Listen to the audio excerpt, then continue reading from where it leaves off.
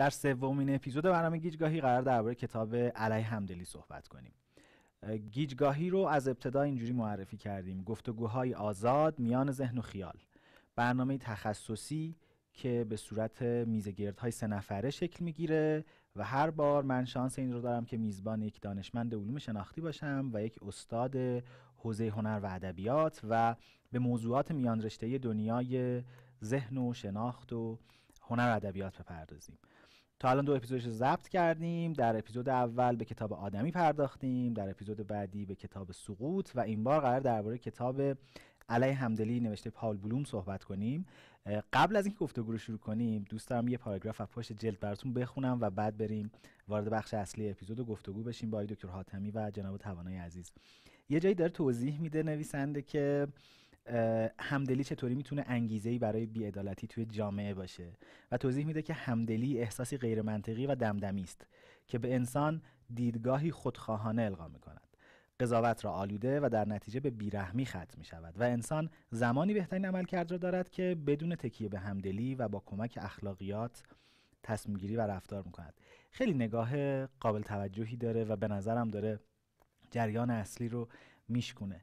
برنامه گیجگاهی با همکاری رسانه علوم شناختی و مغز برینکست و مرکز شناخت زیر نظر دکتر حاتمی به صورت مشترک تولید میشه و این اپیزودش سومین اپیزود گیجگاهی با حمایت شرکت دانش آگاه پدیدار تقدیم شما میشه.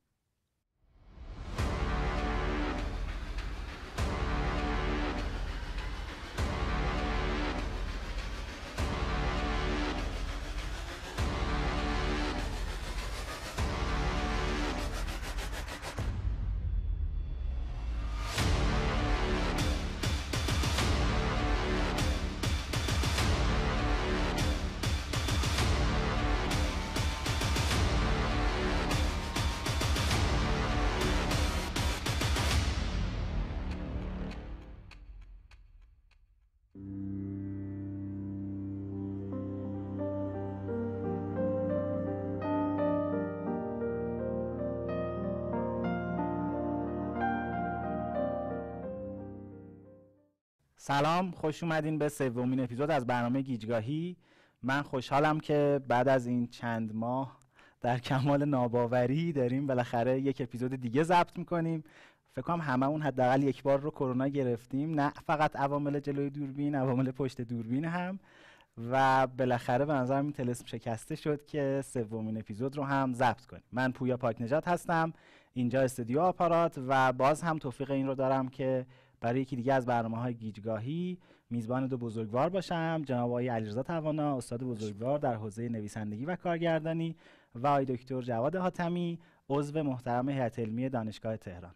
خیر مقدم میگم. خیلی ممنونم که قابل دونستید و بعد از همه این درگیری های حالا اینکه ما باید با هم همدلی کنیم یا نه بعدش صحبت کنیم ولی زنده موندنمون رو تبریک میگم و خوشحالم که در خدمتتون هستیم. می‌خواین شما هم جمع توانایی سلامتی داشته باشین شروع کنیم. خواهش می‌کنم. منم خیلی خوشحالم در خدمت شما. جناب دکتر حاتمی هستم. و به قول شما خیلی هم خوشحالم هر ستامون زنده موندیم. در خدمت شما. خواهش می‌کنم. منم خیلی خوشحالم. سلام عرض می‌کنم خدمت بیننده عزیز. امیدوارم که برنامه خوبی بشه امروز. ممنونم ازتون. من خودم نسخه فارسی کتاب خوندم. احتمالا مخاطبانی که اپیزود قبلی رو دنبال کردن خاطرشون هست که ما پایان اپیزود معرفی کردیم. قرار در اپیزود بعدی درباره کتاب علیه همدلی صحبت کنیم. من کتاب رو ترجمه خانم دنیا زندی نشر گاه نه ترجمه فارسی دیگه ای داره. شما دکتر دیدی؟ من ندیدم نه. و این توضیحی هم که تحت عنوان علیه همدلی داده برای کتابی برای مهربانی منطقی که به نظرم احتمالا برای مخاطبای ما که فکر می‌کنن خیلی مهربونن ولی غیر منطقی می‌تونه کتاب جذابی باشه. اگر موافق باشید با خودتون شروع کنیم دکتر. بله. اینکه یک خلاصه ای از کتاب بگیم بله. و اینکه چرا کتاب پیشنهاد کردین بعد در ادامه با هم دعوا کنیم. خواهش. بله ارز کنم که خب همدلی موضوع خیلی مهمیه و نوع نگاهی که بلوم داره به همدلی خب نگاه جالبیه. ایشون فعلا توی دانشگاه فکر کنم تورنتو هست روانشناس اجتماعی کتاب هم اگه بخوام یه خلاصی ازش بگم اینه که خب یه چند دههی هست که موضوع همدلی خیلی موضوع مورد توجه قرار گرفته. هم توی دانشمندا شما می‌بینید خیلی بهش توجه می‌کنه میشه توی علوم متخصصای علوم اجتماعی توی سیاست مدارا. و می‌بینید که خیلی موضوع مورد توجه و ستودنیه. کارهای سینمایی زیادی هم بر مبنای همدلی ساخته شده. نگاهی که ایشون داره علیه این نگاهی که صرفا ستایش آمیزه خب میاد اولش تعریف می‌کنه همدلی چیه از منظر خودش منظورش رو تا حدودی سعی می‌کنه روشن بشه که وقتی داره از همدلی صحبت می‌کنه منظورش چیه. توی فصل دوم از این دفاع می‌کنه که بر اساس شواهد نوروساینس ما می‌تونیم بگیم که همدلی یه پدیده واقعیه. واقعا توی مغز اتفاق میفته مداراش وجود داره. و بعد در واقع نقدی که مطرح می‌کنه اینه که من اینجوری می‌تونم بگم که دو شکل میشه نقدش رو نگاه کرد. یکی اینکه همدلی الزامن معادل یک فضیلت اخلاقی نیست یا الزامن منجر به رفتار خوب نمیشه و از اون طرف هم فقدان همدلی الزامن منجر به خشونت یا بیرحمی یا رفتارهای از این دست نمیشه. شواهدی هم ارائه می‌کنه. تا اینجا خب ادعایی که تا حدودی میشه ازش دفاع کرد. حالا اگه لازم شد من خودم هم می‌تونم مثالایی بزنم که یه جاهایی واقعا همدلی نه تنها کمک نمی‌کنه دردسرم می‌تونه باشه. اما ادعایی که خورده درشتره و خیلی هم سراحتا نمیگه یه جایی میگه دوباره ازش عقب میشینه. اون ادعا اینه که اگه بخوایم جمع جبری رو حساب کنیم اگه همدلی نباشه توی طبیعت انسان شاید بهتر باشه. که خب این ادعا خیلی ادعای سهمگینیه و شواهدی هم که براش میاره خیلی قانع کننده نیست. حالا کسانی که بخونن کتاب احتمالا این حس بهشون دست میده. توی استدلالاش هم در واقع دو دست استدلاله. یه سری استدلال فلسفیه. که واقعا خیلی کار من نیست که بخوام بگم که این درستی یا نه. مثلا فرزن حتما خوندی اون مثالش رو که میگه که شما فکر کنید یه نفری رو یه کسی که نیاز به کمک داره به درمان نیاز داره یا هر چیزی. شما کمکش می‌کنی و بعدا مشخص میشه که این یه جنایتکاریه که می‌تونه مثلا ضربه زیادی به بشریت بزنه. آیا این همدلی کردن باهاش تو اون مقطع کار درستی یا نه؟ که خب این پاسخ دادنش خیلی تو هیته ما نیست یه امر فلسفی و شاید در واقع هر کسی بر حسب دیدگاه خودش یه نظری بده. اما یه بخشیش یه مقدار پاشو میاره پایینتر و در مورد شواهد تجربی صحبت می‌کنه که شواهد نشون میده که یه جاهایی همدلی الزامن باعث رفتار خوب نمیشه و برعکس که اونجا به نظر من جایی که میشه روشی خورده تعمل کرد و حرفهای قابل توجهی می‌زنه. به خصوص یه بخشی که تفکیک قائل میشه بین شفقت و همدلی که من فکر کنم اونجا جز بخشایی که تو کتاب من خوشم اومد و البته عمدتا هم متمرکز روی کارای محقق دیگه به اسم تانیا سینگر که کار خیلی جالبی انجام داد که اگه لازم باشه راجع به اون به می‌تونیم بحث بخش بیشتری از صحبتمون رو به اون اختصاص بدیم تفاوت همدلی و در واقع compassion فکر کنم شفقت بله. و بعضی هم دلسوزی ترجمه کردن.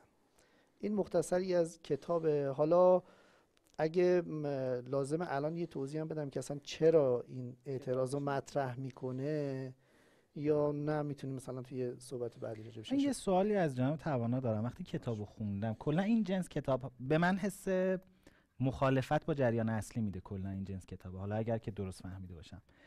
وقتی این جنس مخالفت ها رو میشنوم خب یه وقتایی اصلا به خاطر ذات دیالکتیکی که در علم وجود داره باید اصلا این مخالفت شکل بگیره که اصلا بره به جلو. اونو درک می‌کنم. گاهی وقتا احساس می‌کنم به خاطر منطق درام داره این اتفاق میفته یعنی بعضی از دانشمندا احساس می‌کنم برای اینکه حرفشون شنیده بشه چاره دیگه ای ندارن جز مخالفت کردن. چرا دوست داشتم سوال از شما بپرسم؟ چون به نظرم شما به عنوان متخصص حوزه ادبیات احتمالا قاضی خوبی هستید که چقدر واقعا این حرفه به نظرتون داره؟ یک حرف جدید می‌زنه چقدر داره به نفع خودش از دراماتیک کردن فضا برای اینکه حرفشو بزنه استفاده می‌کنه؟ درسته. اول من واقعا باید تشکر کنم از دکتر حاتمی به خاطر این کتاب رو انتخاب کرد. اگر دقت بکنیم واقعا این کتاب در روند کتاب آدمی و کتاب سقوط کاموه به شکلی در واقع اون دوتا کتاب هم همین نکته ای که تو الان گفتی در موردشون مصداق داره در موردشون صدق می‌کنه. این کتاب هم همینطور. واقعا همینطوره. توی آدمی جریان حاکم داره انسان مرتب زیر سوال می‌بره. انسان داره اونو در واقع فروتر از اون چیزی که هست در واقع بیان می‌کنه از نظر نویسنده کتاب. و اون میاد وای میسه و میگه انسان سرشت پاکی داره انسان ها خوبند. و اینکه خلافش ثابت بشه. اینجا توی کار پال بلوم هم همینه. انگار اومده گفته که همه الان دارید میگید همدلی در واقع خوبه. من در کنارش وای میسم یک تنه و علیه همدلی می‌خوام حرف بزنم. بعضی جاها که آدم احساس می‌کنه نسلش خیلی شیطونه و خیلی هم راضیه داره این کارو می‌کنه. یه جایی گستاخی می‌کنه یه جایی انگار داره پایکوبان اعلام می‌کنه که خوشم میاد لجتون می‌گیره من دارم میگم همدلی بده. از این حرفا داره می‌زنه. درسته همینطور هست. ولی خب نمیشه یه کاتگوری تعیین کرد گفت همه کتاب هایی که خلاف جریان اصلی حرف می‌زنن پس خواستن یه جور خودنمایی کنن شوافه توی بعضیاشون هست توی بعضی یه مقدار هست توی بعضی هم خب نه نیتشون حالا فرض و این کتاب تو کجای طیف قرار می‌گیره؟ این کتاب کتاب بسیار مفرحیه راستشو بخواید. من اگر تو یک جمله چون اون بحث علمیشو کاملا به دکتر حاتمی سپردم واقعا. من به عنوان کسی که خواننده است دارم صحبت می‌کنم. امروز بیشتر اومدم یاد بگیرم راستشو بخواید اون قسمتی که مربوط به ادبیاتش میشه نصرش میشه دلایلش میشه مثالهایی که می‌زنه یا رفرنسایی که میاره کتاب بسیار مفرح می‌کنه. یعنی به راحتی می‌تونی این کتاب رو پیشنهاد بدی به دانشجویان سال اول هر رشته ای مخصوصا علوم انسانی. که بخونن و آشنا بشن و لذت ببرن. کتابی نیست که به راحتی بتونی بذاری کنار یا بگی کنده اذیت هم کرد خستم کرد. از این نظر کتاب بسیار خواندنی هست. ولی مثل در واقع همون کتاب آدمی این هم دچار همون مشکلات میشه. یعنی مسئله رو انقدر بغرنجش می‌کنه. همونطور که دکتر حاتمی گفت انقدر مسئله رو جای بغرنجش می‌کنه که بعدا توی راه حل دادن یا حل مسئله واقعا تبدیل میشه به این روانشناسی های پاپ یعنی به این چیزایی که آدم احساس می‌کنه از رادیو مثلا یا تو میشنوه یا تو روزنامه همشهری قراره بخونه. یعنی تبدیل میشه به چیزی که خودش بر مشکل میافزاید. حالا من می‌خواستم اینجا برگردم به آیه دکتر حاتمی. از دکتر بپرسم اگر بخوایم از عنوان شروع بکنیم سه تا کلمه به کار برده که خودشون در تعریف واقعا ما باید ببینیم اصلا تعریفشون چیه چون خیلی اعتباریه خیلی تعریف نسبی داره. اول همدلی رو. می‌خوایم ببینیم که ایشون همدلی رو چی تعریف کرده چون همدلی هم مثل پست مدرنیزم یا فمینیزم انقدر تعریف های مختلف و گاهی متضادی داره که آدم باید ببینه این دقیقا کجا ایستاده. یعنی همدلی رو چی معنی می‌کنه. یک این دوم مهربانی منظورش چیه؟ همین بحث شفقت همدردی مهربانی یا هر دلسوزی یا هر چیز دیگری رو چی معنی کرده؟ دایرش چیه؟ و مهمتر از همه منطق. یعنی منظورش از مهربانی منطقی چیه؟ واقعا ما اصلا می‌تونیم در مورد منطق صحبت کنیم در مورد هیجانات و احساسات می‌تونیم صحبت بکنیم. ولی در مورد مهربانی منطقی آیا ما یه الگوی خاصی داریم؟ مثل ریاضیاته که ما بگیم اینجا منطق شروع میشه و این مهربانی منطقیه. خیلی خوشحال میشم اول از عنوان شروع کنیم. بله. خیلی ممنون. به نظرم سوال خوبی مطرح کردی. شاید اگه بخوام جواب سوالو بدم بعد یه زاویه دوربینی خورده برم عقبتر که بتونیم ببینیم که اصلا این شکایتی که داره علیه همدلی مطرح می‌کنه از کجا ریشه می‌گیره. در واقع می‌تونیم بگیم که کتاب خود کتاب بلوم در واقع علیه سه تا چیز دیگه هست که داره موضع می‌گیره و همدلی به عنوان یه مستاقش داره مطرح میشه. اونم سه تا جریانی که الان خیلی جریان برجسته شده توی ادبیات علوم شناختی و حتی توی رسانه های عام و اینها. یکیش اصطلاحی که بهش میگن bounded rationality یا عقلانیت محدود. خب خیلی تحت تاثیر کتاب Thinking Fast and Slow کانمن و اینای خیلی فراگیر شد که خب خیلی وقتا واقعا اشتباه فهمیده میشه و اونو می‌ذاریم کنار.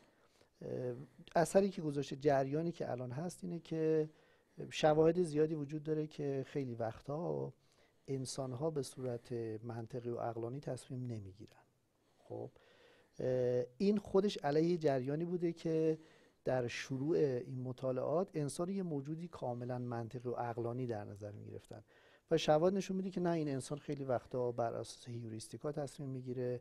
خیلی وقتا توی دنیایی که عدم قطعیت باش برش حاکم هست ممکنه منطق و عقلانیت خیلی جواب نده و شما باید از این در واقع راه حلای میانبر استفاده بکنید. منتها میگین اینقدر پررنگ شده که اون عقلانیت کلا فراموش شده. یعنی جریان به نوعیه که انگار اصلا هیچ عقل و منطقی نداره فقط بر اساس این احساسات هیوریستیکا اینا داره تصمیم می‌گیره. یه جریان دیگه ای که حالا اینا رو میگم بعد برسم به جواب سوالت. یه جریان دیگه هم که خیلی ازش خوشش نمیاد اصطلاحا جریان هایی که باز تو حوزه روانشناسی اجتماعی هم خیلی زیاده. توی توصیف انسان روی اینتویشن یا شهود خیلی تاکید می‌کنن. برای مثال یه روانشناس اجتماعی خیلی مطرحی هست به اسم جاناتان هایت که اون میاد میگه خیلی از قضاوت اخلاقی یا خیلی از تصمیمات اخلاقی که ما می‌گیریم به جای اینکه بر اساس بررسی های عقلانی باشه بر اساس شهودهایی که ما داریم تصمیم رو می‌گیریم و بعد عقل و منطق میاد اونو چیکار می‌کنه؟ توجیهش می‌کنه. بازم اینجا شما می‌بینید که داره توی جریان روانشناسی شناختی علوم شناختی مدرن سهم عقلانیت این بار به در قدر قربانی اینتویشن ها شهود ها اینا میشه. و جریان سومی که خیلی دل خوشش ازش نداره میگه یه جایی مد شیطونه جریان نوروساینسه. که توی فکر کنم فصل دو ایناست که مثلا هی مطلق میندازه که کلی پروژه و بودجه انجام شده برای اینکه آخر سر بفهمن برسن به همون چیزی که آدم اسمیت مثلا سالها پیش بهش اشاره کرده بود. و میگه که باز به خصوص بکنم توی فصل آخر یه اشاره می‌کنه به اینکه کسانی که تو حوزه نوروساینس دارن کار می‌کنن انسان رو به یه موجود بیوشیمیایی تقلیل دادن. و باز اینجا سهم منطق و ایجنسی و عاملیت از بین رفت. حالا با این چارچوب میگه نگاهی هم که به همدلی وجود داره اینجوریه. خب همدلی به عنوان یه چیز احساساتی بهش نگاه میشه یه چیز شیک دوست داشتنیه و به عنوان راه حل همه چیز داره مطرح میشه. حالا اول صحبتام گفتم چیزی که در واقع منطقی هست و معقول هست میشه ازش حمایت کرد اینه که ما می‌تونیم اینجوری بگیم که خیلی وقتا همدلی شرط کافی برای رفتار اجتماعی مناسب یا کمک کردن به دیگران یا رفتار اخلاقی نیست. باید چیزای دیگه هم باشه تا این اتفاق بیفته. تا این حدود به نظرم قابل قبوله ولی خب یه خورده افراطی تر این موضوع رو مطرح می‌کنه و به قول تو میری جایی که هی رفت و برگشت می‌کنه بین فلسفه و داده های علمی و شواهد experimental و اینا. به هر حال سعی می‌کنه طوری سناریو رو بچینه که از ایده خودش دفاع بکنه. اما خب میشه به همون شکل به شکل من مخالفش هم حرکت کرد و گفتش که تو این ادعایی که می‌کنی شواهد بر این ادعات کم هست. خب با این تعریف در واقع ما می‌تونیم بگیم که می‌خواد همدلی رو بگه که برای اینکه در واقع تبدیلش بکنه به یه صفت مثبت یا یه اتفاق خوب که توی زندگی اجتماعی ما می‌تونه مفید باشه باید یه چیز دیگه هم بهش اضافه بشه که بهش میگن اقلانیت یا حالا اینجا شاید منطق به معنای لاجیک فنیش نیست. به معنای که انسان می‌تونه به عنوان موجود آگاه یه حساب کتابی بکنه بر اساس قواعدی فراتر از قواعد احساسات شخصی و چیزایی مثل این بتونه تصمیم بگیره. درست. دکتر یه نکته که در مورد همدلی هست تعریفی که احساس میشه نویسنده گرفته یکی از تعاریف ممکنه. یعنی ما تعریف های گسترده تری از همدلی هم داریم. تو بعضی از تعاریف همدلی اساسا این بحث مهربانی منطقی مستتر هست. یعنی آدم احساس می‌کنه که به عمد تعریفی رو انتخاب کرده که بتونه علیهش بنویسه. در حالی که اگر اون تعریف استفاده می‌شد می‌تونست در علیه همدلی نباشه در دفاع از نوعی از همدلی باشه. مثلا نگاه بکنیم این بیشتری موضع گیریش در مورد همدلیه که یه جورایی درش تقلید دخیله یا اینکه پاتو در کفش دیگری بگذار از نگاه دیگری به دنیا نگاه کن. طرفدار اینکه تو باید حتما رنج دیگری رو درک کنی که بتونی مثلا آدم بهتری باشی. ولی ما می‌دونیم که تو تعریف های دیگه هم که از همدلی هست که خودت بهتر از من می‌دونی اساسا بحث اصلیش اینه که ما اولین واکنشمون احساسیه که باز می‌رسه به یه سوال دیگه که بعد که صحبتم کامل شد می‌خوام در موردش توضیح بدی. که اومدن بحث نورون های آینه ای رو مطرح کردن و گفتن ما اولین برخوردمون با یک مسئله همدلی احساسیه. ولی همدلی احساسی یک دور می‌سازه با شکل دیگری از همدلی که دیگه ربطی به احساسات نداره. یعنی ما توی سینما وقتی تو شخصیت پردازی حرف می‌زنیم ما اینجوری میگیم. میگیم اول یقه تماشاگر رو با احساساتش بگیر و بعد شروع کن با اصول با استنتاج با کنکاش با اضافه کردن موارد دیگه. اون احساس رو عمیقش کن. بهش عمق بده ژرفا بده ارتفاع بده. الان احساس میشه تو تعریف از همدلی این هم موجوده.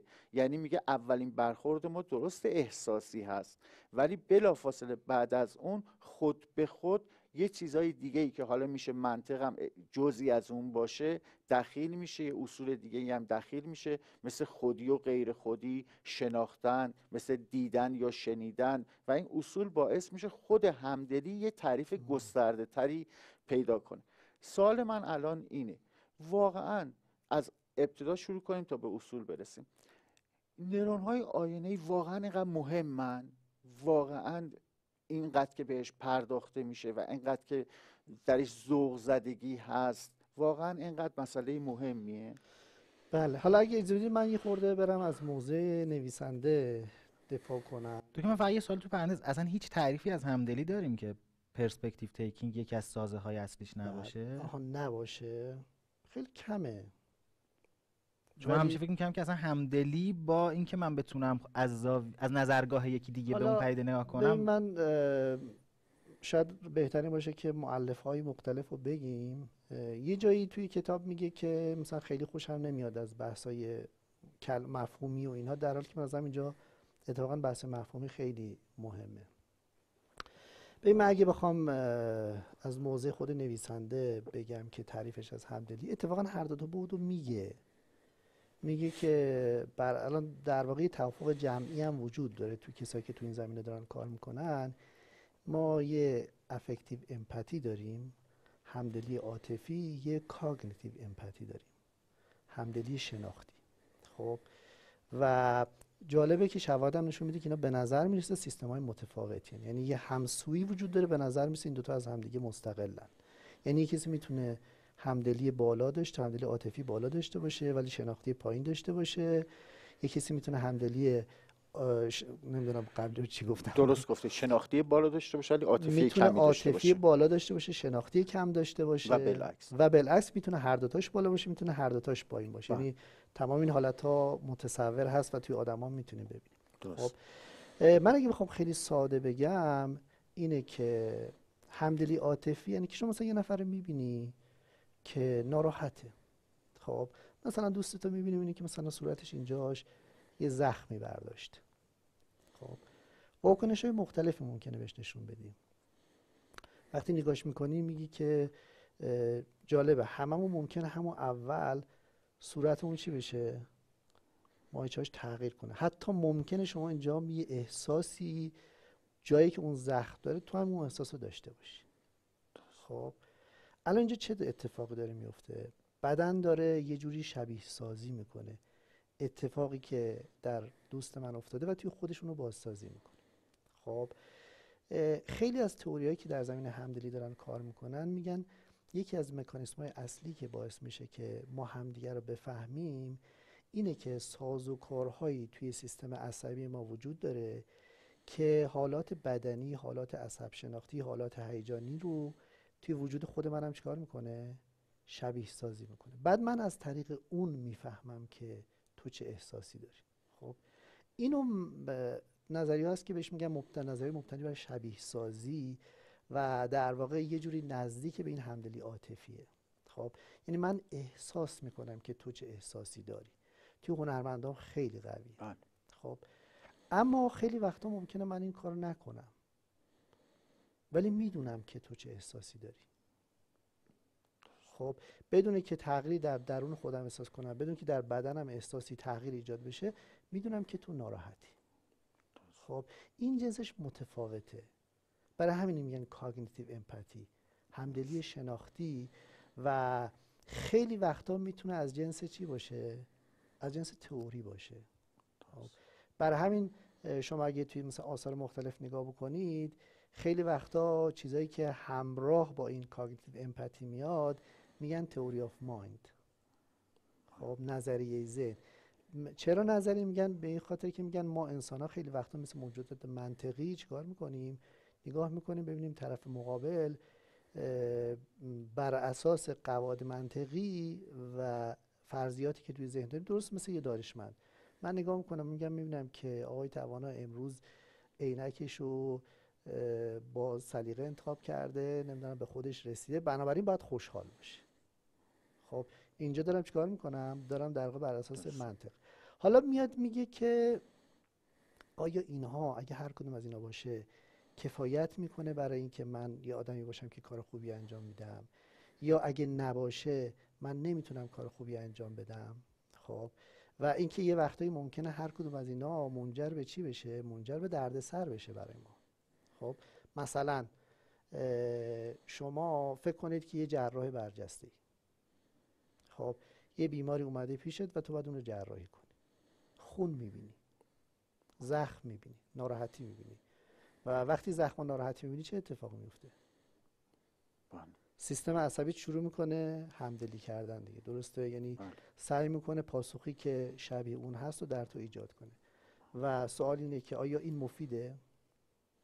نه مسلما برای یک جراح خیلی, خیلی وقتا تو موقعیت ها مفید نیست چون شما باید کار دیگه ای انجام بدید برای همین سیستم عصبی ما سازوکاری داره که می‌تونه گاهی وقتا همدلی رو چکار کنه؟ متوقف بکنه و با این توقفش باعث بشه کار خوبی انجام بده. یا در واقع میگه که خیلی وقتا فکر کنم به یه شخصیتی توی رمان چیز اشاره می‌کنه جورج اورول که میگه که آیا کسی که توان همدلی شناختی خیلی بالایی داشته باشه می‌تونه الزاما آدم خوبی باشه؟ خیلی وقتا نه. بله. کسانی که می‌تونن دیگران رو فریب بدن سو استفاده بکنن ازشون چیکار می‌کنن؟ بله.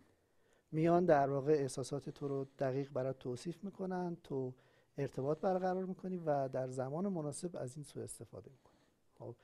یعنی با این منطق خیلی وقتا این رابطه رابطه خطی نیست که اگه تو همدلیت بالا باشه الزاما کار خوب انجام میدی اگه همدلی نداشته باشی مثل مثلا بچه های اوتیستیک که توی همدلی شناختیشون خوب عمل نمی‌کنن اینا آدمای بدی نیستن. آدم خیلی خوبی هن قواعد اخلاقی خیلی محکمی دارن و برای همین در واقع این استدلال مطرح میشه که خیلی وقتا ممکنه در حالت عادی شما باید همدلیتون رو خاموش کنید. یا خیلی از والدین خیلی وقتا برای اینکه بتونن درست تربیت کنن یه قواعدی دارن به خاطر اون قواعد حاضرن در واقع با بچهشون برای لحظاتی همدلی نکنن.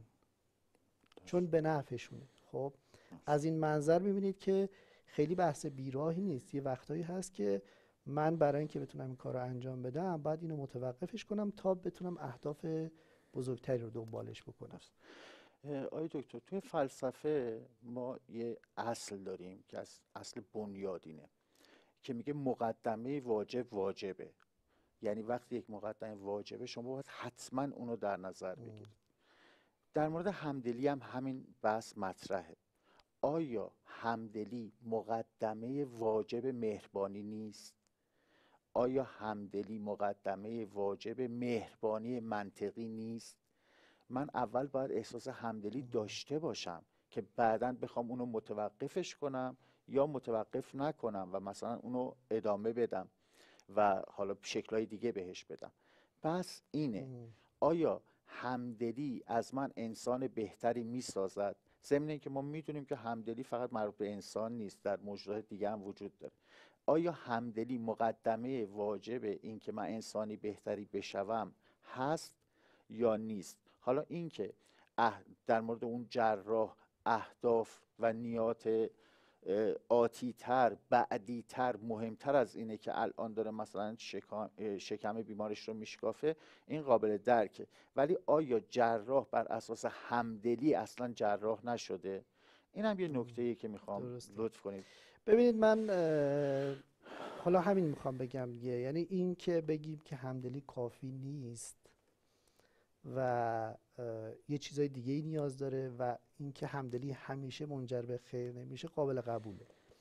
ولی اینکه در واقع بدون همدلی ما می‌تونیم انسانهای خوبی باشیم یه خورده واقعا چالنجینگ یعنی یه خورده البته خیلی سعی می‌کنه شواهدی بیاره ولی حداقل بر اساس شهودی که ما داریم خیلی راحت نمیشه باش کنار اومد. من از این جهت با شما موافقم.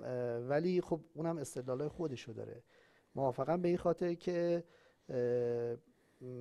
در واقع اینجوری بگم که نمی‌تونم مخالفش باشم نمی‌تونم موافقش باشم. واقعا نمی‌دونم که شهودم میگه که باید اینجوری باشه یعنی مقدمه هست. ولی این که مستند به شواهد بگم نه واقعا نه در این جهتش می‌تونیم الان یه ادعای کلی رو مطرح کنیم نه جهت جهت مخالفش. خب؟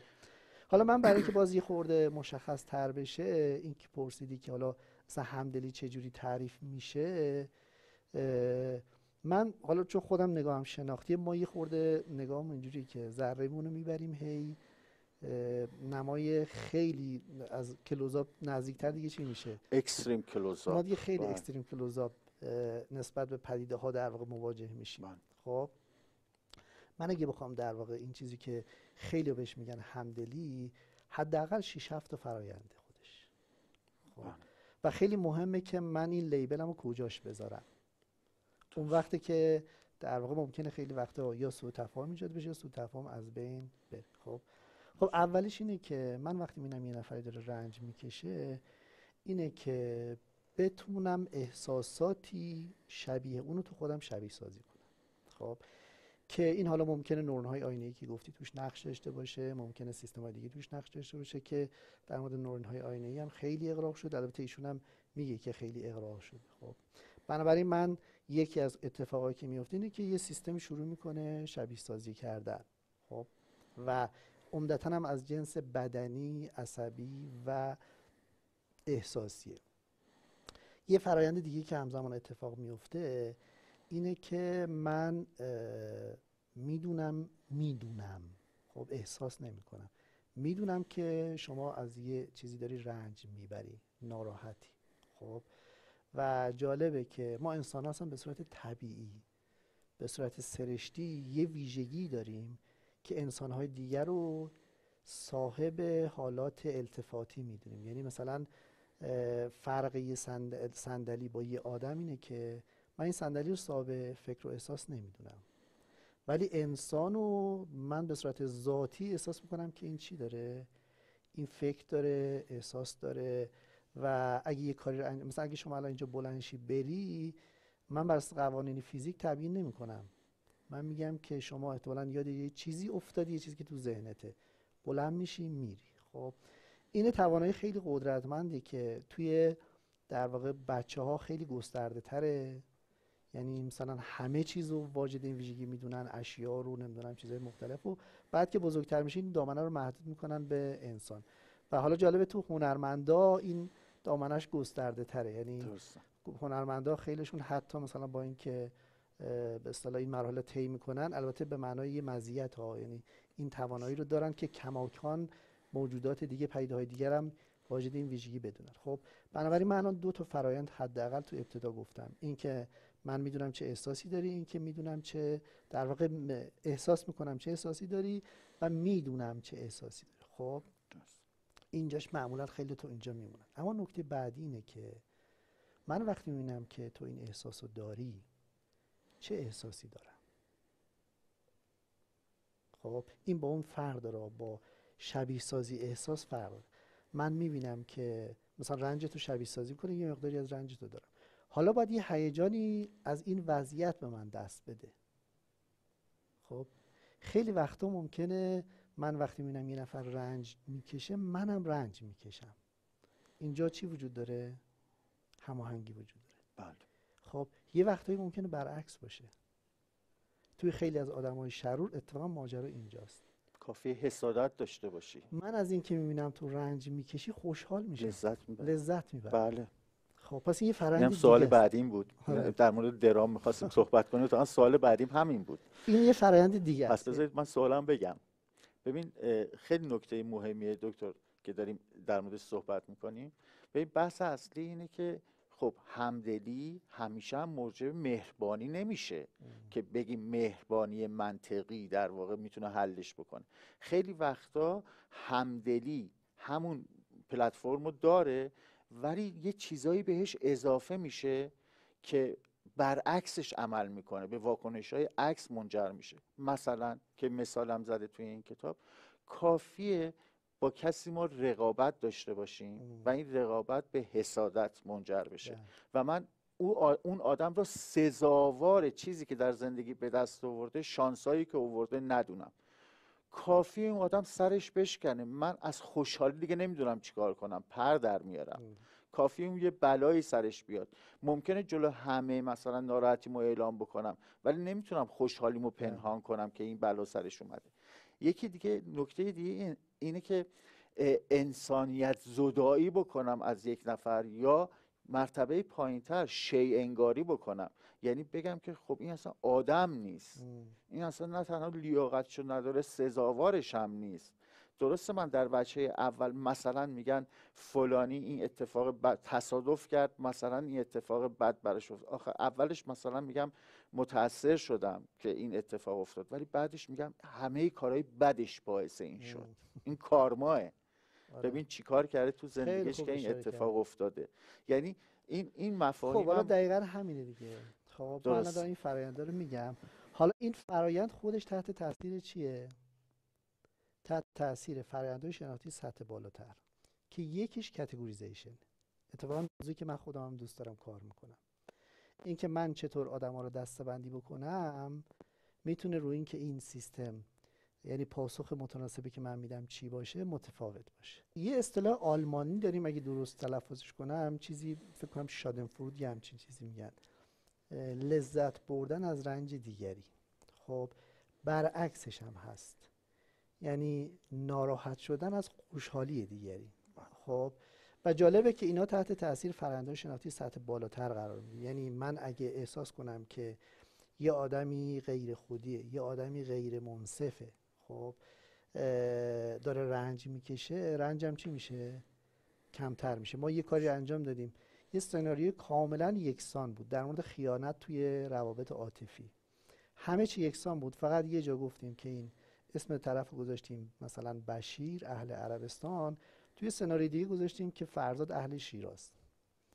خب بعد دیدیم که وقتی آشکارا جواب میدن بچه ها تفاوتی توی همدردی با رنج اون طرف ندارن. اما وقتی این به صورت ضمنی و غیر مستقیم اندازه‌گیری کردیم دیدیم که این طبقه بندی مهمتر از خود رفتار یعنی اینکه خودی یا غیر خودی باشه در اینکه من چه همدلی می‌کنم متفاوته. خب بنابراین این می‌تونه همدلی خودش تحت تاثیر فراینده سطح بالاتر باشه و اونو تعدیل بکنه که توی فصل دوم به این اشاره می‌کنه که این می‌تونه تحت تاثیر این باشه. خب باز تازه به اینم خاتمه پیدا نمی‌کنه.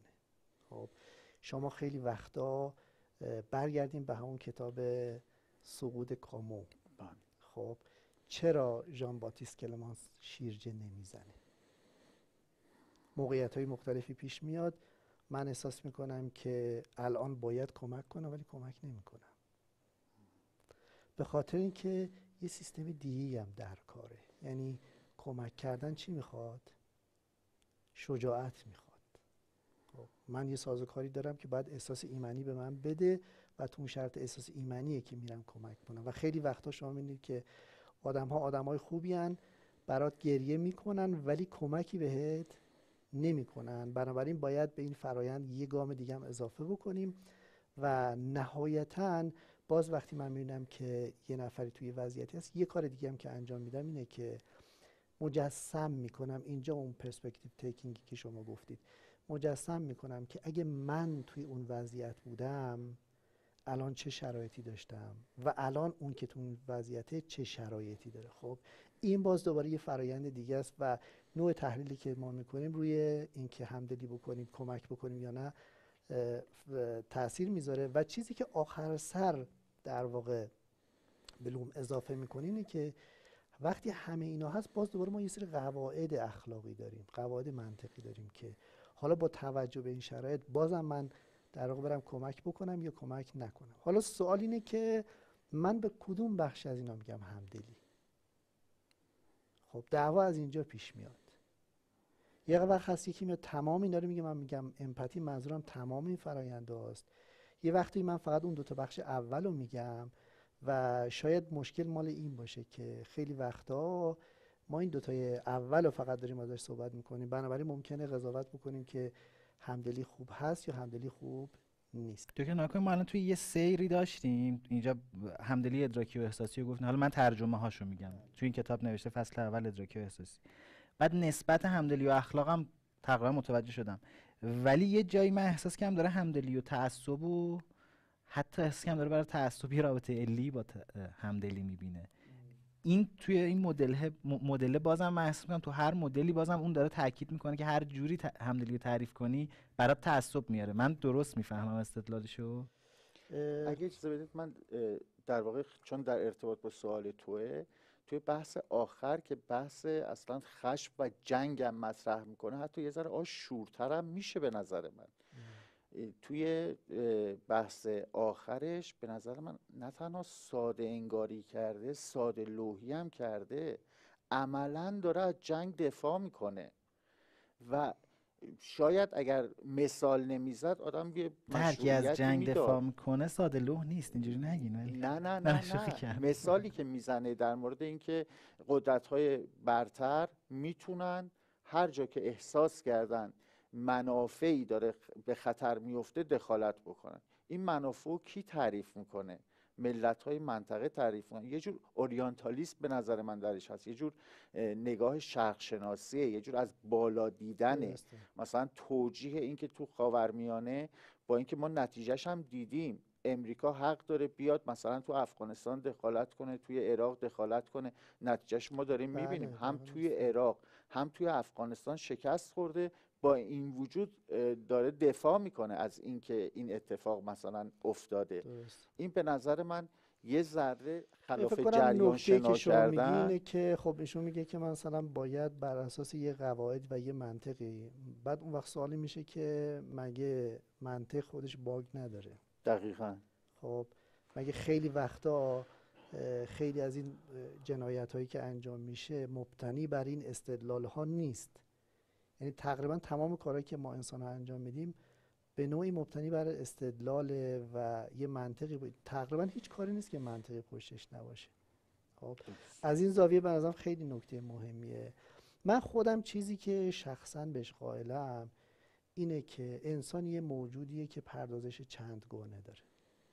خب هر کدوم از این رو ازش بگیری ناقص میشه. و واقعا من نمی‌دونم اگه اینا رو برداری چیز بهتری تبدیل میشه یا چیز بدتری تبدیل میشه. اون چیزی که ما فقط می‌تونیم راجبش حدس بزنیم. چیزی که الان من می‌فهمم از انسان و تجربم توی این چند ساله به من نشون میده که ما یه مجموعی هستیم که احساسات در ما درگیره منطق درش درگیره و همه اینا بسته به در واقع موقعیت اینکه تو چه شرایطی باشیم هر کدوم سهم متفاوتی پیدا می‌کنن. یعنی من هم می‌تونم منطقم تحت تاثیر سوگیری شخصی باشه. هم می‌تونه همدلیم تحت تاثیر سوگیری شخصی باشه. خب این نکته که گفتی هم توی همدلی مستطره هم توی استدلال. خب من می‌خوام اشاره بکنم به اینکه در واقع همدلی می‌تونه یه سویه کاملا تعصب گفتی یه سویه کاملا نجات پرستانه داشته باشه. می‌تونه غیر از اون باشه؟ چون من شما با اون توضیحاتی که داشتین دادین گفتین معقوله بندی می‌تواند باعث شود که اینجوری نباشه ولی من حسگم بازم خود معقوله بندی هم نوع ابراز تعصب منو عوض می‌کنه می‌تونه تحت تاثیر قرار بده. حالا اینکه ما به چی بگیم تعصب خب من می‌خوام اینو بگم که در واقع چیزی که در مورد همدلی میگه بذارید اینجوری براتون بگم که ماجرا اوکراین که اتفاق افتاد خب همه پرچم دورنگ آبی و زرد رو گذاشتن احساسات همه جا فعال شد درگیر شد. یه جایی خیلی جالب بود. یکی دو تا از خبرنگارا وقتی داشتن توصیف می‌کردن ناخداگاه اومدن گفتن که اینا مردم عراق و سوریه نیستن. اینا مردم اروپایی هستن نمی‌دونم اینجوری هستن. موی بور و چشم آبی دارن. موی بور دارن چشمای آبی دارن. خب از این زاویه که نگاه می‌کنی یه رفتار کاملا انسان دوستانه است. ولی می‌بینی که در جهت مخالف یه جور نجات پرستیه خب و به تعبیرشون میگه که همدلی مثل یه چراغ قوه است. یه جایی رو نور میندازه یه جای دیگر رو تاریک می‌کنه. خب؟ و بعد جالبه که این در مورد همه هست. خیلی اومدن در واقع گفتن که چرا راجع به مردم سوریه چرا راجع به مردم یمن چیزی نمیگیم. خب؟ و جالبه همینایی که طرفدار مردم سوریه و یمنن راجع به مردم میانمار یا مردم مثلا مسلمانان چین هیچی نمیگن. خب؟ به نظر میسه که هممون چی داریم؟ هممون در واقع به صورت گزینشی انتخاب رو می‌کنیم. خودی و غیر خودی و حالا ایشون میگه که برای اینکه اینو حل بکنیم ما باید از یه اصول سطح بالاتری تبعیت بکنیم و میگه که پیشرفت بشر به این خاطر نیست که همدلیش رفته بالاتر. اینه که انسان معقولتر شده و خیلی وقتا خودش خودش رو سرزنش می‌کنه. با اینکه داره همدلی می‌کنه نسبت به همکیشان خودش هم نژادان خودش. ولی در واقع این رشد اقلانیتش بهش میگه که حواست باشه. به خودش در واقع تذکر میده که اینجوری نباشی و از این منظره که میگه که اون اقلانیت می‌تونه یه خورده تعدیل می‌کنه و از ولی از اون طرف هم خب اقلانیت هم خیلی وقتا شما نگاه می‌کنیم اینه که به قول تو اقلانیت هم چی داره؟ در دل خودش یه جور سوگیری داره یه در واقع منویات شخصی قومی نژادی اینا توش هست و برای همین واقعیتش اینه که این ماییم یعنی این طبیعت ماست. ما تو این داریم زندگی می‌کنیم. و شاید در واقع باید بگیم که ما بهتره که با همه این ابزارا بریم. یعنی با همه این جب ابزاری که داریم بریم جلوتر بریم جلو و بستگی داره به موقعیت. یه موقعیتی این جواب میده یه موقعیتی اون جواب میده. بله. خیلی آقای دکتر من چیزای دیگر هم می‌خواستم مطرح کنم. مثل شخصیت خیر شخصیت شر. اساسا شر چیه؟ که رد پاش توی سینما خیلی زیاده. مثلا توی سریال دکستر که دکستر ما می‌بینیم که یه در واقع یه جامعه ستیزه ولی این جامعه ستیز که همدلی نداره ولی چون اصول داره یه پرنسیپ های بله. رعایت می‌کنه چون تعلیم دیده در واقع داره در خدمت جامعه خب عمل یه خورده همسو با اینه. دقیقا. دکستر یه خورده همسو دقیقا. ضمن اینکه الان ما می‌دونیم که جامعه ستیزها در واقع اینکه همدلی ندارن وجود نداره. همدلی دارن. منتها همدلیشون مورد توجهشون نیست. یعنی نسبت به اینکه همدلی کنن توجهی ندارن. اگر یه جامعه ستیز رو مجبور کنی همدلی کنه مثل انسان عادی همدلی خواهد کرد. موتورش روشن میشه. ولی برگردیم به رشته کار خودمون. من می‌خوام یه فیلم پیشنهاد بدم. در واقع کارگردانی که همیشه تمش شر خیر انسان خوب انسان بد اصلا انسان چیه براش خیلی مطرح بوده. اگر موافق باشیم فیلم ممنتو که داره در مورد انسان صحبت می‌کنه و تعریف انسان که انسان اصلا چیه؟ حافظه است انسان خاطره است انسان سرشته انسان معناست هدف به انسان در واقع انگیزه میده نیت میده یا ما نه فقط روشیم فقط داریم زندگی می‌کنیم به روزمرگیمون برسیم. به قول خودتون انسان یه مجری بیوشیمیکه یعنی چیه انسان؟ اگر موافق باشید من پیشنهاد می‌کنم پویا جان هفته دیگه فیلم ممنتو که بله. یادگاری در واقع ترجمه هفته دیگه البته. انشالله هفته دیگه.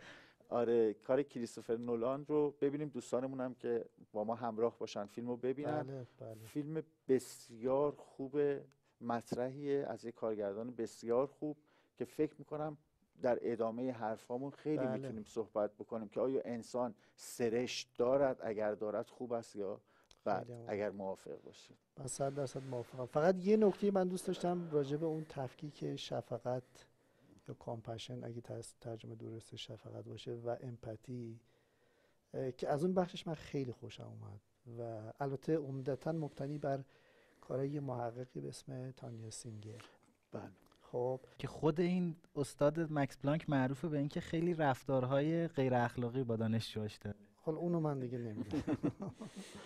خب چیزی که اینا روش کار کردن باز همون بحث اینه که من وقتی در واقع نفر رو می‌بینم. شاید اینجا نقطه خیلی مهمی باشه. اینکه وقتی می‌بینم یه نفر رنج می‌بره دو تا واکنش می‌تونم نشون بدم. یه واکنش هم اینه که منم رنج ببرم. خب. یه واکنش هم اینه که من خیلی رنج نبرم بلکه مهربانی کنم. کمک کنم. خب. خیلی از آدم ها رو ما می‌بینیم که شما مثلا ناراحت میشی اعصابت خورد میشه اونم میاد پیشت گریه می‌کنه. ولی عملا کمکی نمی‌کنه. ولی یه کسی دیگه هست که در واقع درد تو رو شبیه سازی نمی‌کنه به طور کامل میگه دردهای من گرچه مثل دردهای مردم زمانه نیست درد مردم زمان است خب. یه شعری هم سعدی داره که من از بینوایی نیم روی زرد درسته؟ بله.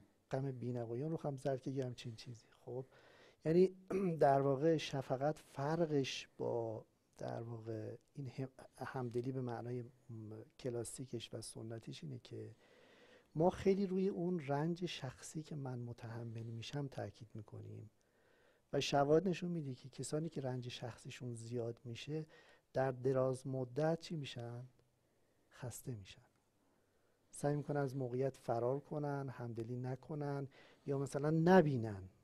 خب میگن ولش کن اخبار رو گوش نکن. اما اون کسایی که واقعا کمک می‌کنن یا حالا به تعبیرشون میگه شفقت دارن کسانیه که به جای اینکه این پرسونال دیسترس یا پریشانی شخصی درشون فعال بشه اون انگیزه کمک کردن درشون فعال میشه. و در واقع دوره هایی را دارن طراحی می‌کنن که یا اجرا کردن دیدن که این نوع شفقتی که به جای اینکه صرفا مبتنی بر احساس باشه شفقتی که مبتنی بر کمک کردن باشه بدون در واقع یعنی بیشتر معطوف به طرف مقابل باشه تا احساسات شخصی این در دراز مدت می‌تونه مؤثر باشه. آی دکتر پس منم یه جمله آخر بگم. من به نظر من اگر تعریف همدلی رو گسترده تر می‌کرد به جای اینکه یک بخش از تعریف همدلی رو بگیره همدلی رو گسترده تر می‌کرد تعریفش رو و نقطه نظراتش که تو بعضی از تعریف همدلی وجود داره. اینجا روش تاکید می‌کرد. به جای اینکه علیه همدلی باشه می‌تونست کتاب درباره همدلی بله. باشه. من بله. اینطور فکر می‌کنم. حالا توی ممنتو هم این بحث هست که اصلا چطور همدلی باعث میشه که ما با یه قاتل زنجیره در واقع همراه بشیم. جناب توانی جوکر دکستر یه بحثی درباره این دوگانه خیر و شر که گفتین من کتابی که میخوندم احساس کردم که مدام دوست داره اون تصویری که من از بعد از آشنا شدن با ایده هایی که داماسیو و هم خطای خودش مطرح می‌کنن درباره نسبت هیجان و منطق خیلی دیگه تصویر رو این شکلی نمی‌دیدم درباره انسان. شبیه موضوعی که شما گفتین که ما همه اینها رو داریم. ولی مدام وقتی این کتاب میخوندم احساس می‌کردم که از این تصویرهای شبکه های اجتماعی هست یه کسی داره روی بندی را میره یه طرف قلبشه یه طرف مغزشه. انگار دوست داره مدام روی این دوگانه تاکید کنه. علیرغم که خودش هم مدام داره توضیح دنیا خیلی پیچیده تر از این چیزی که به نظر می‌رسه. ولی خودش ساده ترین مدل ممکن و کلاسیک ترین مدل ممکن. شما هم وقتی اینو می‌خونین تو این کتاب اینو احساس می‌کردین؟ دقیقا همینطوره. گفتم بهت خیلی جاها که حالا من کلمه ساده لوحی رو به کار بردم نه در مخاطب در در واقع واژگانی که استفاده می‌کنه مثالایی که استفاده می‌کنه در واقع گفتم به نویسنده و همینطور مخاطب اصلا نمی‌خواستم چیز کنم. ساده انگاری انگار. یعنی یه جورایی میل به این که مخاطب بیشتری خواننده بیشتری داشته باشه باعث شده خیلی مسائل ساده بکنه. این دقیقا همین نکته قهرمان ضد قهرمان شر خیر. توی این مثالاش خیلی جاها این دیده میشه. حتی مثلا تو مثالی هم که زده در جنگ جهانی دوم که در واقع نیروهای آمریکایی میان و توی داخاو آلمانیا رو به گلوله میبندن و بعد نتیجه ای که می‌گیره از این چیز وحشتناک به نظر خیلی ساده است خیلی راحته. به نظر من همه چیز خیلی مینیمال تو بعضی جاها دیده. ولی باز من میگم اینا باعث نمیشه که این کتاب خواندنی نباشه. این کتاب به نظر من کتاب خواندنیه و حداقل باعث میشه خیلی موضوعای دیگر آدم پیگیر بشه و ببینه. همین کتاب باعث شد که من ببینم در مورد همدلی دیگران چه گفتند. که این خودش خیلی مقدمه خوبیه. ضمن اینکه فراموش نکنیم دکتر خیلی حرف خوبی زد. الان دنیا به سمتی داره میره که آدم ها رو به دو بخش داره تقسیم می‌کنه. آنان که همدل هستند همدلی دارند که آدم های خوبن مثبتن فرشتن و آدم هایی که همدلی ندارند که اینا دیوهان اینا شرن نماینده شرن که حالا توی کتابای دیگه هم که هست مثلا باران کوین که اومد دیگه نویسنده هست که اصلا در مورد شر مثلا حرف زده اون اصلا بیسش رو اساس کارش رو بر این گذاشته که اگر همدل نباشی انسان نیستی. یعنی از درجه انسانیت در واقع تو توهی میشی. اگر نتونی با اون تعریف سرشتی که از انسان داره اگر قادر به همدلی نباشی تو اصلا نمی‌تونی به وظیفه انسانی خودت مثلا به زیست انسانی خودت در این جهان ادامه بدی. به خاطر همین میگم شاید هم یه جاهایی از آدمای مثل کوهن عصبانیه همون چیزی که شما گفتید از سه چیز مختلف عصبانی احتمالا پیرامونش یه همچین اتفاقایی افتاده. شاید هم نمی‌دونم. دکتر میگه بعض وقتا تو گرما باعث میشه آدم حرفایی بزنه که بعدا پشیمون بشه بند کفشش چیز بوده. دکتر شما هم به عنوان متخصص احساس می‌کنید این دوگانه رو داره تو کتابش تاکید می‌کنه؟ آره ببینید من اون که باز کردم فرنده همدلی در واقع دارم اینو نقد می‌کنم دیگه. یعنی شما اگه بخوای در واقع خیلی ساده دوگانش بکنی اون وقت راه هم که بهش فکر می‌کنی اینجوریه. در حالی که واقعیتش اینه که ما مجموعه از فرایندها هست و توی موقعیت های مختلف ترکیب اینا تعیین می‌کنه که الان چی درسته الان چی غلطه. و برای همین با این رویکرد خیلی موافق نیستم. یه جایی توی مقدمه کتاب میگه من می‌خواهم درباره ارزش استدلال و تفکر در زندگی روزمره بحث کنم. استدلال کنم ما باید بیشتر از مغز خود استفاده کنیم تا قلبمان وقتی اصلا اینو به من گفت من اینجوری بودم که این کتاب اولین کاری که کردم شناسنامه کتاب دیدم چه سالی نوشته شده؟ ببینید یه خورده همونه دیگه. یعنی در واقع یه فضایی حاکم شده. خب اگه از این منظر نگاه بکنی حق بهش می‌دید الان فضایی حاکم شده که مثلا شما واقعا مثلا تصور می‌کنید که انسان هیچ اقلانیتی نداره. خب در حالی که اینا نیست. ما یک موجودی هستیم که نسبتا اقلانی هستیم. گاهی وقتا توی موقعیتی بسته به اقتضای موقعیت. یه جوری عمل می‌کنیم. یه مفهومی یه روانشناس با که تو تصمیر کار می‌کنه به اسم گیرنزر. خیلی مفهوم قشنگیه. اصطلاح اکولوژیکال رشنالیتی اقلانیت بوم شناختی یعنی بسته به موقعیت داره. توی یکی از موقعیت اتفاقا خیلی از این هیوریستیک ها چون تصور اینه که این راه حل میانبر میانبون هایی که ساده هستن ولی دقیق نیستن. در حالی که توی خیلی از موقعیت ها می‌تونن دقیق هم باشن. خب خیلی از موقعیت ها هستن که من سیستم اقلانیم داره کار می‌کنه و شاید در واقع من اگه بخوام باهاش همدلی بکنم اینه که ناراحت از این که یه دفعه این فضای احساسات گرایانه فضای انقدر اون موقع برای این شروع شد که بگن که انسان موجودی صرفا اقلانی نیست انقدر این برجسته شد که دیگه الان حالا اونا میگن که خب درسته که صرفا عقلانی نیست ولی خب بالاخره عقلانی هم هست. خب اگه از این منظر نگاه بکنی یه خورده میشه باش همدلی کرد. یعنی شاید در واقع می‌خواد بگه که اونا دیگه خیلی آش و شور خود گیگرنزر اگه اشتباه نکنم اون ایده gut feeling هم میشون مطرح می‌کنه فکر می‌کنم. حالا من احساس می‌کنم که فارغ از این که این تصمیم عقلانی رو من به عنوان اون من عامل هوشیار گرفته یا ترکیبی از احساسات احشاییم باعث شده که اونو بگیرم بالاخره منم دیگه. من حس خیلی دوست داره تاکید کنه روی اون منه که سوار روی prefrontal cortex تا اینکه انگار مثلا نواحی عمقی مغز من من نیست. می‌خواد بگه که در واقع شما اون انسانی که عاملیت داره و با ذهن آگاهش تصمیم می‌گیره و همینطور در واقع ببینید واقعیتش نکته مهمیه. ما خیلی وقتا درسته که میگیم که مثلا خیلی از رفتارهامون شبیه رفتار اخلاقیه. خب این مثلا خیلی از کارهایی که جاناتان هایت. خب ما آره توی خیلی از موقعیت ها رفتارهایی انجام میدیم که شبیه رفتارهایی چیزی که ما بهش میگیم اخلاق. خب. ولی انسان توی مقطعی به یه درجه از رشد رسید که نشسته با ذهن آگاهش یه سری قواعد رو نوشته. خب و خیلی وقتا وقتی می‌خواد کاری رو انجام بده با اینکه با اون احساساتش همخوانی نداره از این تبعیت می‌کنه. ما نمی‌تونیم اینا رو نادیده بگیریم. خب یعنی الان جریان معاصر داره اینا رو نادیده می‌گیره. یعنی چیزهایی که محصول رشد انسان محصول تمدن محصول اقلانیته داره اینا رو نادیده درسته که ما یه تاریخچه‌ای داریم. درسته که ما یه طبیعتی داریم. باز یه تعبیری فکر کنم باز مال همین جاناتان هایت میگه که ما مثل یه فیلبانی هستیم که سوار یه فیلیم. خب کنترل کامل نداریم. اون برای خودش داره حرکت می‌کنه من هدایت می‌کنه ولی اون هدایتگری خیلی مهمه. خب اون سیستم شناختی یا اقلانیت که آدم دارن خیلی ما اون نباید در واقع فدای یه بخش دیگه بشه. خب حالا چیزی که من میگم اینه که ما باید همه اینا این حالا برای اینکه دفاع کنه داره میگه که اون همدلی اصلا ممکنه مضر باشه مثل نوشابه میمونه و نخوردنش بهتر از خوردنش در حالی که اینجوری نیست. یعنی چیزی که ما داریم میگیم حاصل تجربه میلیون ها سال میلیون ها سالی که انسان نوع انسان پشت سر گذاشته و این ترکیب شکل گرفته.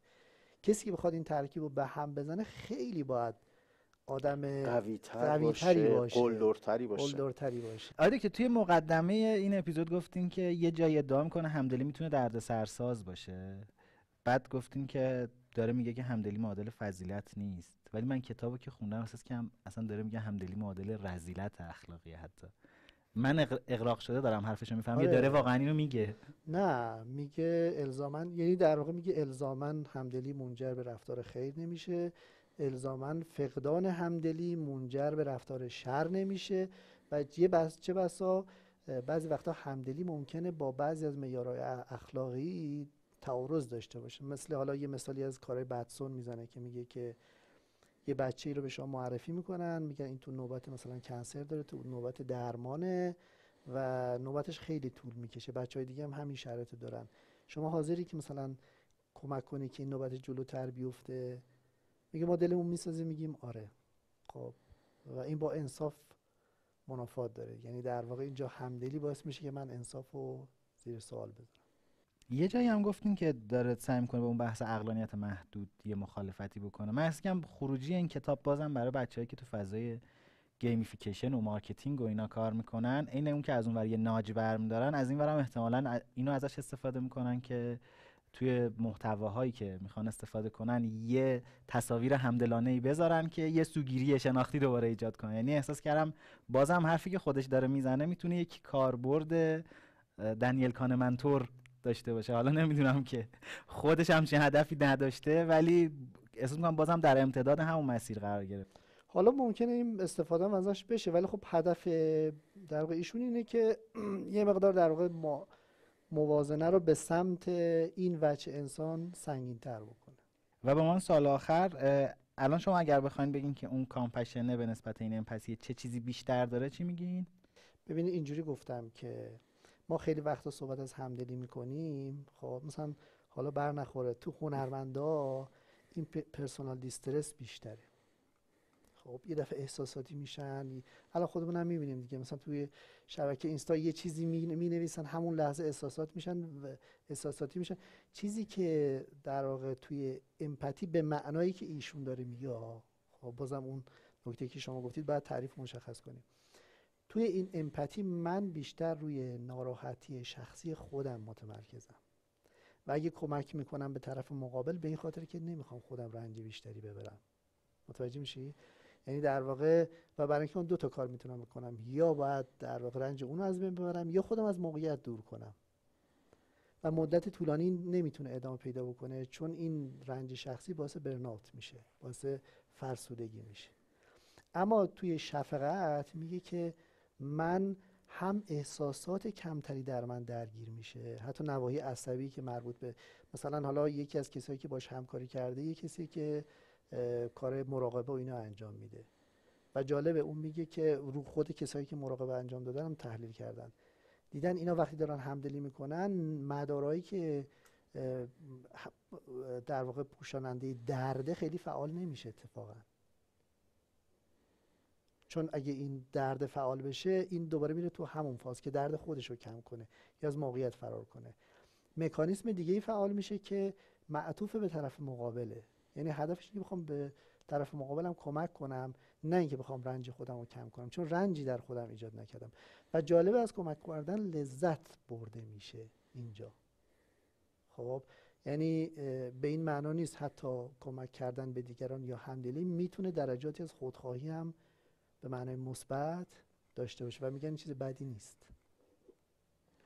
خیلی ممنونم ازتون.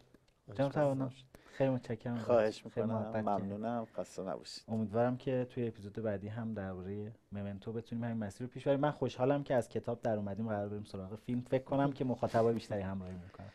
ان مرسی ازتون. ممنونم ازتون. و از شما هم ممنونم که تا اینجا ما رو دنبال کردید.